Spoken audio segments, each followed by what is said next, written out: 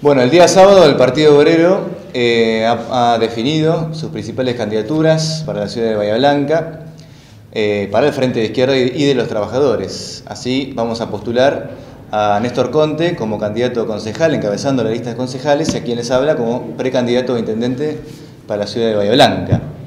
Eh, la intervención del Frente de Izquierda en estas elecciones está en el marco de lo que es un fuerte ascenso político de la izquierda.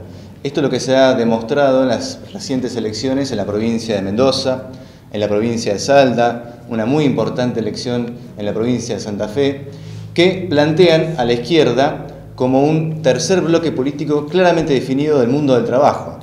Nosotros postulamos como candidato a presidente a Jorge Altamira, el máximo referente de la izquierda de nuestro país, y a Néstor Pitrola como precandidato a gobernador, que él es el actual diputado nacional por el Frente de Izquierda y de los Trabajadores.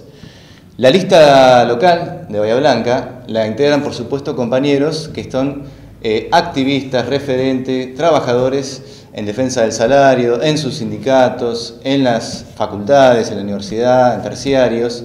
Están aquí Gastón Orellana, Pablo Zamponi, Juan Capa y, por supuesto, como lo mencioné recientemente, Néstor Conte, quien es eh, nuestro candidato a concejal y que luego de la importante eh, y yo diría la más importante elección de la izquierda en Bahía Blanca, que fue la del año 2013, nos dejó a muy poco de poder ingresar al Consejo Deliberante.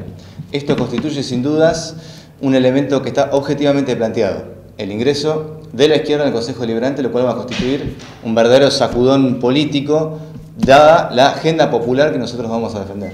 ¿Y tu sensación como candidato a intendente? ¿Cómo? ¿Y tu sensación como candidato a intendente porque mencionabas a Conte como concejal? Bueno, vamos a dar la batalla para oponer a la orientación política que el gobierno municipal, que el conjunto de las fuerzas políticas que están presentes en nuestra ciudad vienen defendiendo sistemáticamente. Y me refiero a los intereses de las grandes empresas del pueblo petroquímico, de las empresas del transporte público y su gestión corrupta y deficitaria del transporte público, y fundamentalmente el déficit habitacional que hoy sufren por lo menos 10.000 bahienses en nuestra ciudad.